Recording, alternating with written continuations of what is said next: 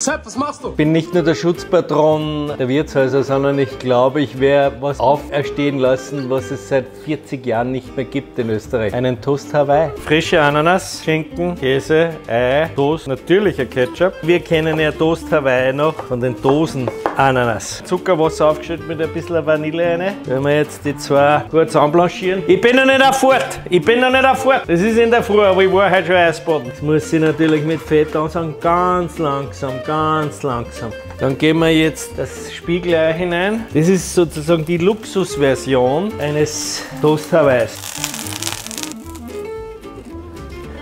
Ganz wichtig, jetzt ist ja total unterschätzt. Nehmen wir da noch ein bisschen Parmesan rein, das ist ein bisschen würziger. Gleich kommt's, gleich kommt er. Ganz einfach, nur Mut.